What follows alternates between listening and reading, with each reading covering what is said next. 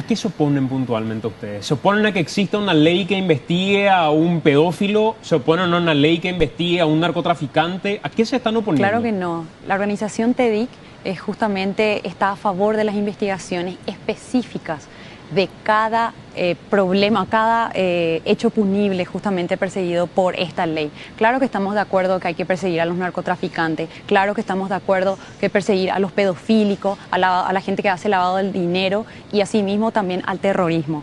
Pero este tipo de ley, con estas argumentaciones, en realidad es un, actúa como un caballo de Troya y en realidad tiene otro fin, que es la vigilancia masiva a todos los ciudadanos. Esa, esa, esos datos, de alguna u otra manera, cuando hablaba con el proyectista a través de Cardinal, con Silva Facetti, me decía, eh, tenés que confiar en el buen nombre de las operadoras y tenés que confiar en las instituciones del Estado, porque finalmente cuando le planteas, ¿qué pasa si mañana viene un juez y dice, investiguen a Mari Carmen, investiguen a Santiago y sus fuentes o a cualquier otra persona, lo pueden llegar a hacer?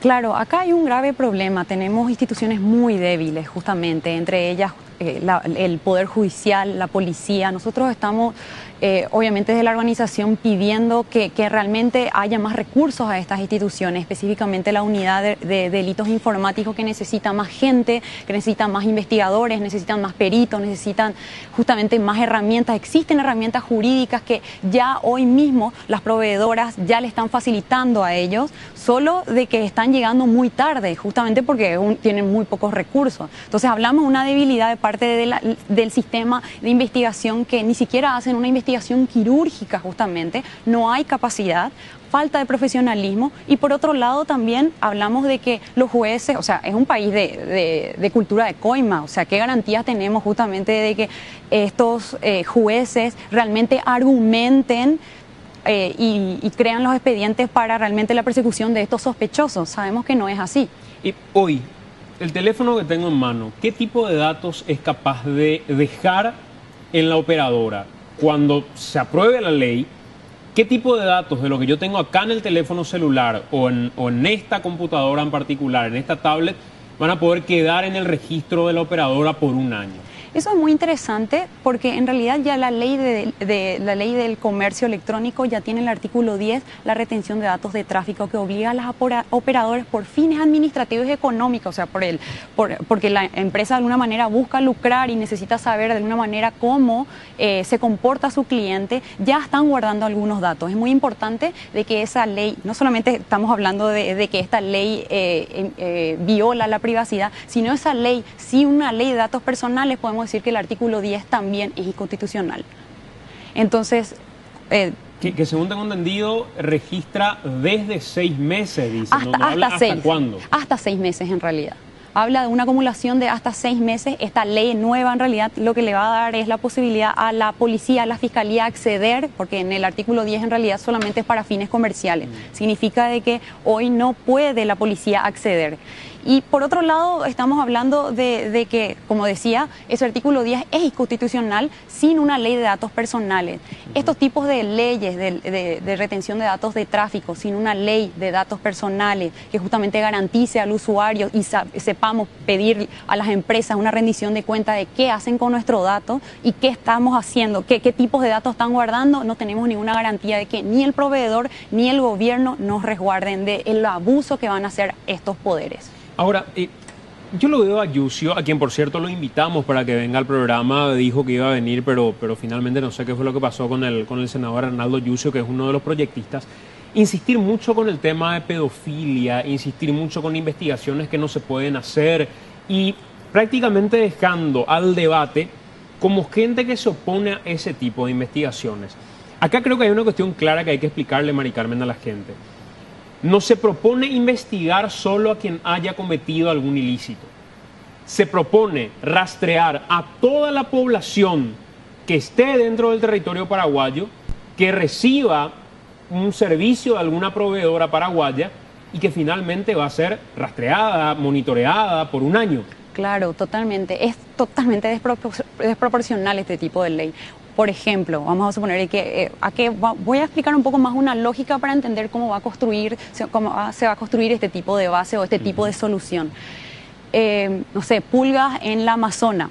¿Verdad? y, viene alguien y dice, bueno, esto está matando a tipos de, animales específicos en la Amazona, entonces ¿qué vamos, ¿cuál es la solución? Quemar toda la Amazona. Y no, en realidad es totalmente desproporcional. Hay que matarle o en realidad hay que hacer una investigación específica, volviendo a la ley, eh, una investigación específica para el caso específico. Estamos totalmente de acuerdo. Hay muchísimas herramientas jurídicas que hoy cuenta la Fiscalía en temas de tecnología. El memorando de entendimiento de los Estados Unidos con Paraguay, que es una cooperación judicial donde ellos ya están facilitando los IP a la, a, la Fiscalía de, de, Delitos Económicos.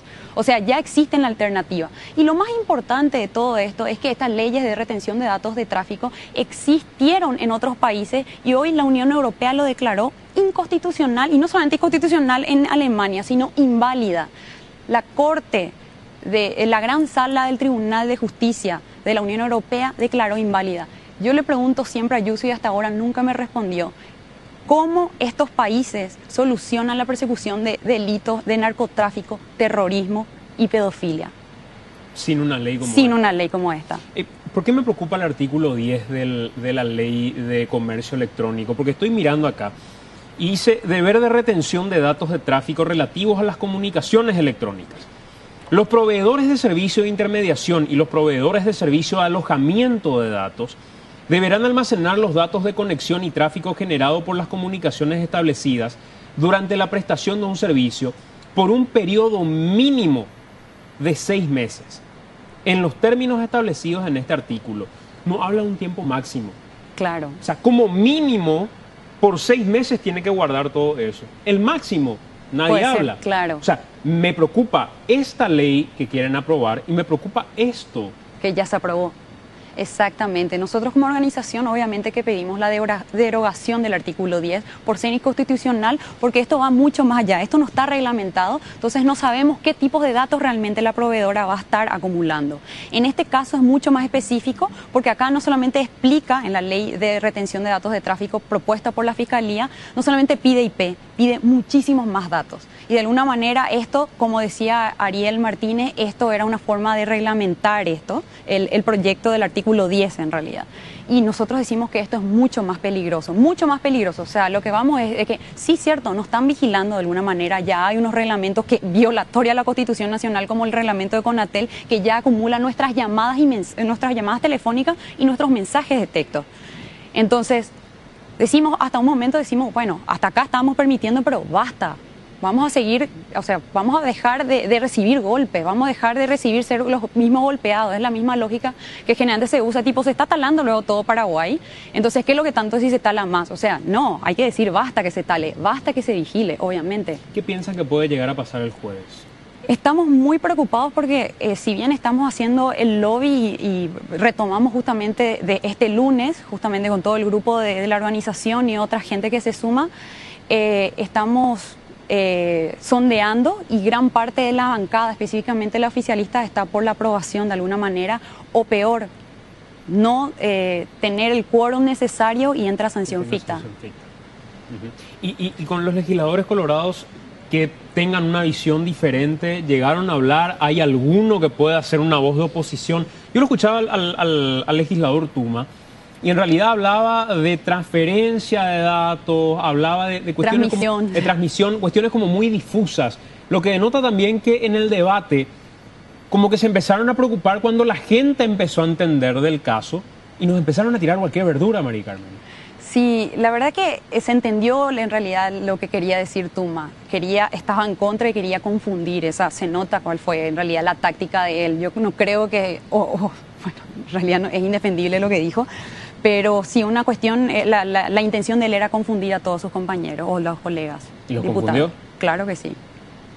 Claro que sí. Bueno, Mari Carmen, eh, hay, hay, un modo en que la gente pueda expresar también, no sé si sirva de mucho, porque estaba viendo que en, el, en, la, en la página del Poder Legislativo hay mucha gente que votó en contra, que comentó en contra de la aprobación de la ley.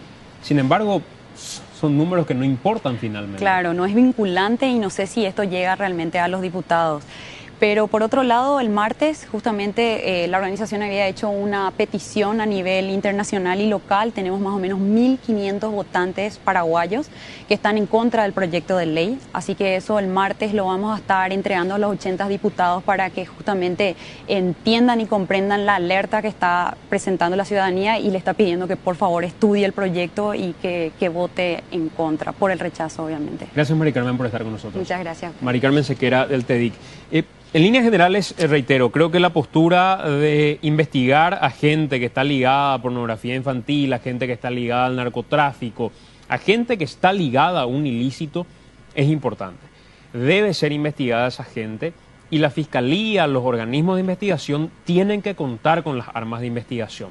Pero de ahí a sospechar de absolutamente todos, incluso aquellos que legítimamente, en uso de su derecho a la privacidad, hacen lo que se les antoja en las redes, a través de un correo electrónico o a través del lugar donde eventualmente están, que es información también clasificada en cualquier país que proteja la intimidad de las personas, en nuestro país se vería vulnerada con una legislación como la que pretenden eh, aprobar. La legislación es necesaria en el aspecto de la investigación de aquellas personas que son sospechosas, pero para aquellos que son inocentes es un abuso que no tiene nombre y es un abuso que debe ser frenado. Y esa gente que es inocente es mayoría. Esa gente que no tiene absolutamente ningún motivo para ser investigada y que debe gozar de su libertad para moverse y hacer lo que quiera a través de Internet es mayoría y esa mayoría tiene que ser respetada, no pisoteada en nombre de una minoría que le gusta delinquir o que vive gracias a la delincuencia. Me parece que algo de razonamiento a la hora de aprobar una, situación como esta se debería tener en el Congreso, así que ese es el llamado que hacemos de alguna manera desde AM también a los legisladores.